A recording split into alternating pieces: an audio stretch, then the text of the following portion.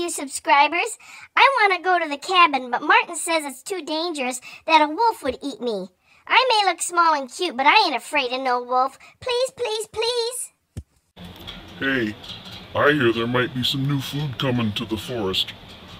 Bring it on, I'll be waiting.